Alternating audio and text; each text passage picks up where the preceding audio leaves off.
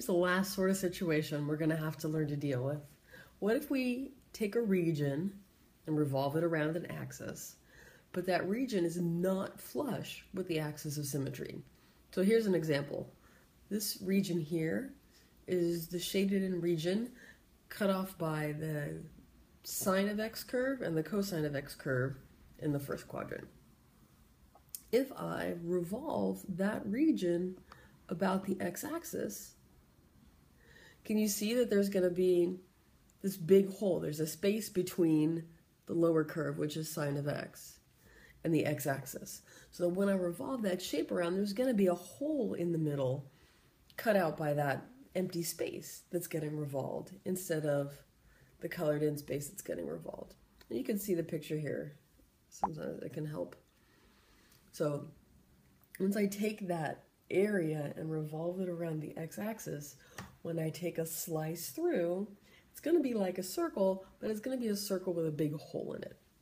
So a cylinder with a hole in it, especially a flat cylinder with a hole in it, we're going to refer to as a washer. And we did this a few weeks ago in class where we, I think, found the volume of a CD. So we noticed that there are a couple of ways to do it.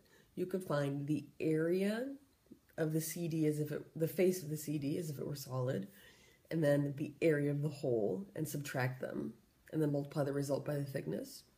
Or you could find the volume of the CD as if it were whole, W H O L E, and then subtract out the volume of the hole. Either one works.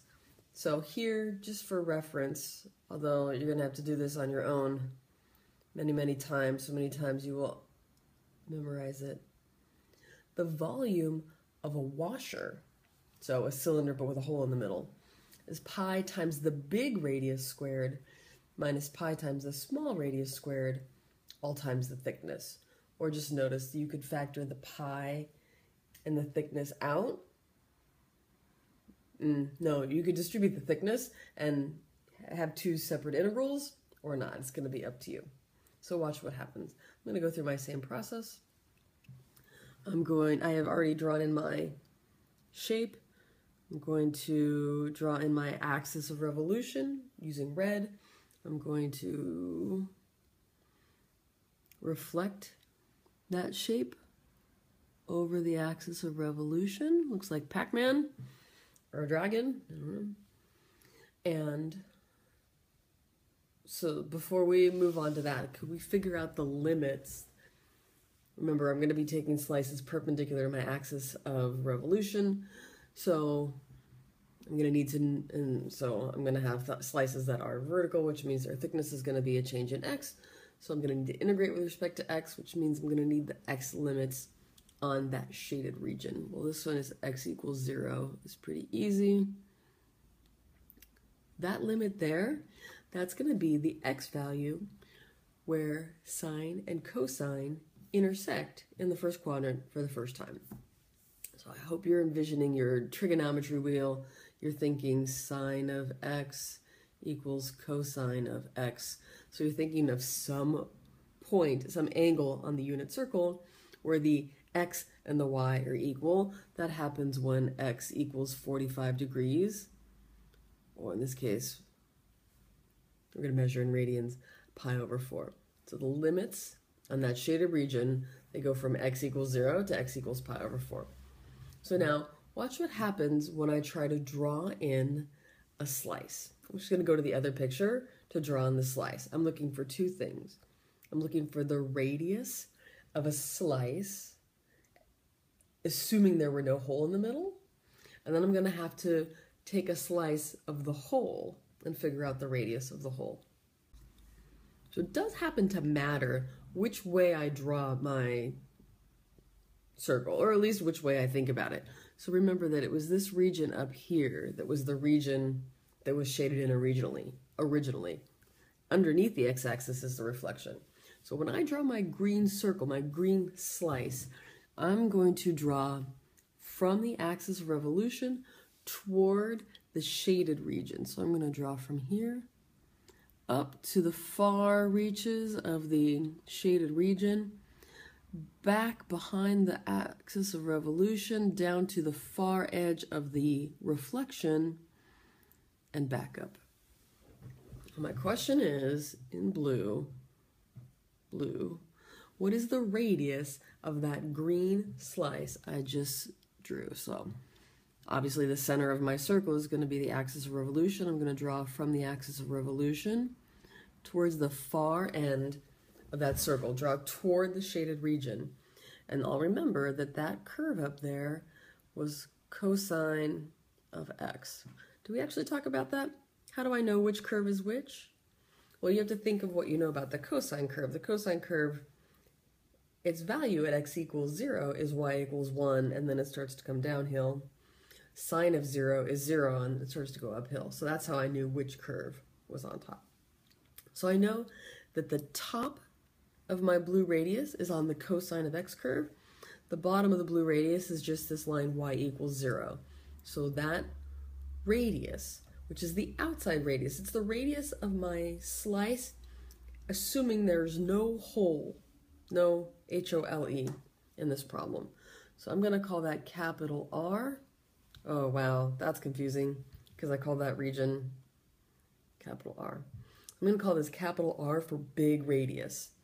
That's going to equal cosine of x. Now I'm going to use, you were wondering why you needed a fourth color. Now I'm going to use my fourth color. I'm going to use yellow. Let me get this guy out of the way. Capital R is still cosine of x, even though that erased. So now I'm going to have my axis revolution is still red. I'm going to, in yellow, draw a slice of the hole, H-O-L-E hole. I'm going to start my yellow marker at the axis of revolution. I'm going to draw toward the shaded region. So I'm drawing up because that's where the shading was. And I'm going to stop when I get to the first graph because that's where, well, between here and here, this is where all the air is, right? This is the hole in the middle of my picture because there was nothing in this shaded region so that when I revolve it around the axis of revolution, I'm just revolving a bunch of air. That's how I get a hole. So here, have my axis of revolution, we'll pretend that's red, and then I'm going to start drawing from the axis of revolution up toward the edge of the hole, back down behind the axis of revolution toward the far edge of the reflection, and back up. Now I'm going to ask myself, when I draw in the radius of that slice, the bottom of the radius sits on the x-axis, so y equals 0. The top of my radius lies on this curve, which we said was the sine of x curve. So little r is going to equal sine of x minus 0, top minus bottom, but obviously I can leave out that minus 0. So little r is going to be sine of x. I'm going to go back to the other screen so I can draw my, so I can write my integral. Okay, a couple quick reminders so I can bring it all together and write my integral. My axis of revolution is the x-axis. I'm going to take slices perpendicular to it, so my slices are vertical.